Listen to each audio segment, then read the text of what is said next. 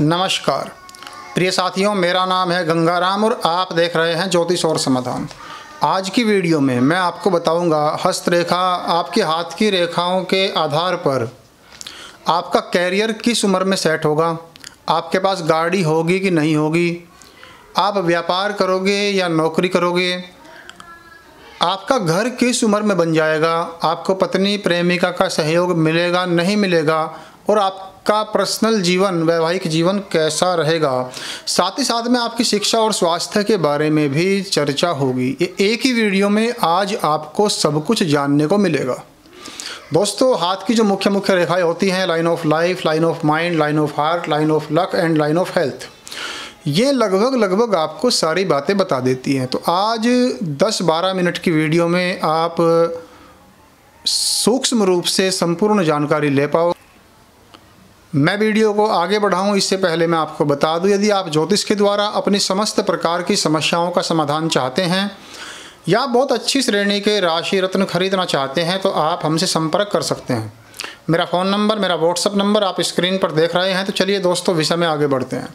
सबसे पहले शुरुआत करते हैं आपकी शिक्षा और स्वास्थ्य से। दोस्तों, ये जीवन रेखा होती है।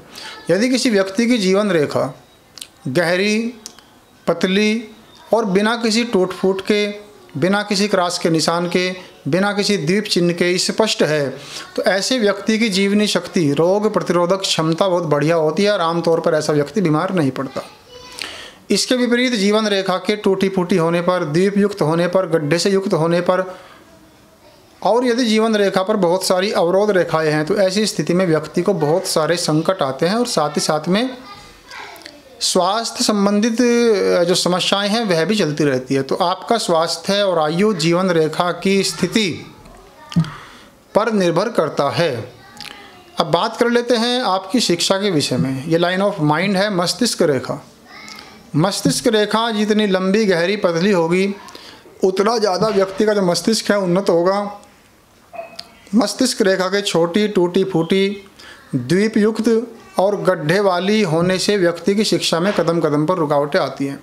साथियों, मस्तिष्क रेखा के मज़बूत होने के साथ साथ आपके हाथ में जुपिटर का जो फ़ील्ड है, बृहस्पति क्षेत्र भी उभरा हुआ और स्पष्ट होना चाहिए।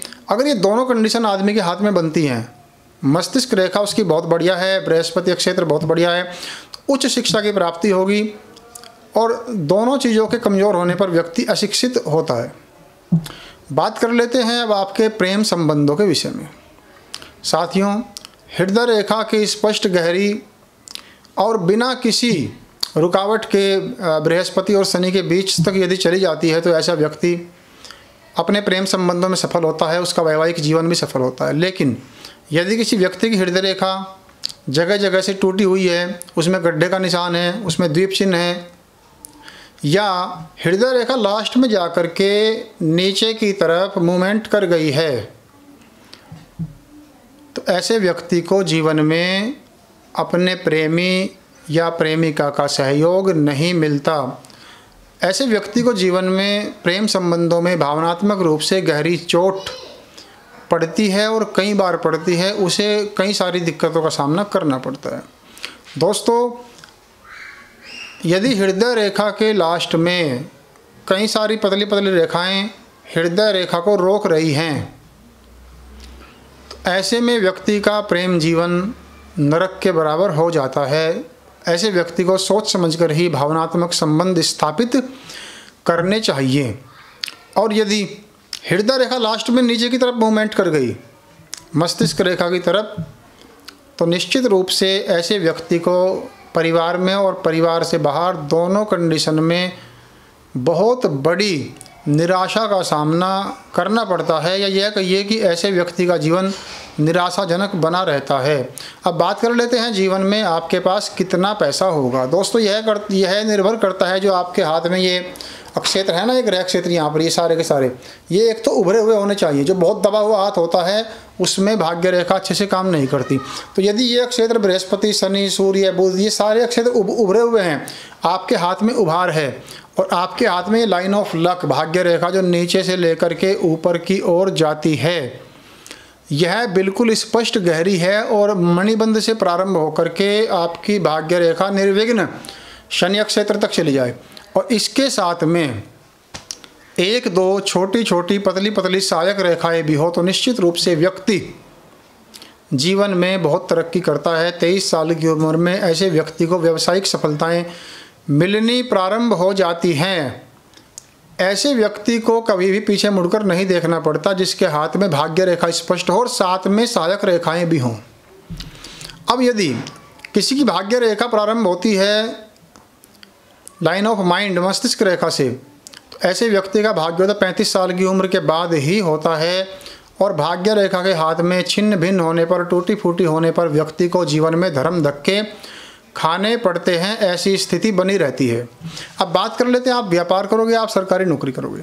दोस्तों, यदि आपके हाथ में व्यापार रेखा स्पष्ट है, भाग्य रेखा शुरू से लेकर आखिर तक है और बृहस्पति क्षेत्र उन्नत है तो व्यक्ति उच्च पद की प्राप्ति करता है, सरकारी नौकरी के योग उसके हाथ में होते हैं। लेकिन यदि किसी व्यक्ति के हाथ में शुक्र क्षेत्र प्रबल है, बुध क्षेत्र उभरा हुआ है, हाथ में व्यापार रेखा है और भाग्य रेखा सुदृढ़ और मज़बूत है तो ऐसा व्यक्ति बहुत बड़ा मंझा हुआ व्यापारी होता है, बहुत ही फ़र्स्ट क्लास तरीके से उसका व्यापार आगे बढ़ता है। लेकिन जीवन भाग्य रेखा के कमज़ोर होने पर, दबी हुई होने पर, तेजहीन होने पर, टूटी हुई होने पर, आधी अधूरी होने पर, द्वीपयुक्त होने पर, क्रासयुक्त होने पर, कोई भी नेगेटिव चिन्ह भाग्य रेखा पर है तो ऐसा व्यक्ति ना नौकरी कर पाता, ना व्यापार कर पाता। और जिसके भाग्य रेखा और हृदय रेखा दोनों की दोनों कमज़ोर हैं तो ऐसा व्यक्ति तो लगभग पागल सा बना रहता है जीवन भर अब दोस्तों, बात कर लेते हैं आपको गाड़ी की प्राप्ति कब होगी और घर की प्राप्ति कब होगी इस विषय में। पहले गाड़ी पर बात करते हैं। आपकी भाग्य रेखा मज़बूत है। साथ ही साथ में आपका सूर्य क्षेत्र उभरा हुआ है और हाथ में सूर्य रेखा है।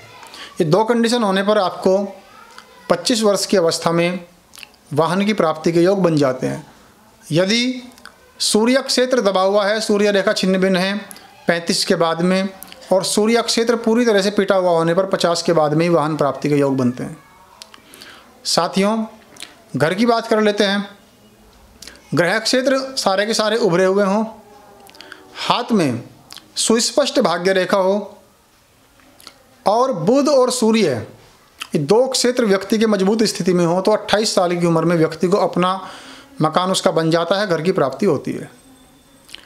यदि भाग्य रेखा कमज़ोर है, बुध और सूर्य कमज़ोर है तो व्यक्ति को 45 के बाद में ही अपनी जगह में बैठने का सपना साकार होता है। व्यक्ति की उंगलियाँ जितनी ज़्यादा लंबी, स्पष्ट, नुकीली, बिना किसी तरोड़ मरोड़ के और देखने में खूबसूरत होंगी, व्यक्ति उतना बुद्धिमान होता है। अंगलियों के छोटी, मोटी और भद्दी होने पर व्यक्ति आमतौर पर बुद्धिहीन पाए जाते हैं। तो दोस्तों, आज एक ही वीडियो में मैंने आपको बहुत सारी सटीक जानकारी देने का प्रयास किया। मैं कामना करता हूँ, आज की वीडियो आपको अच्छी लगी होगी। वीडियो को लाइक करें, चैनल को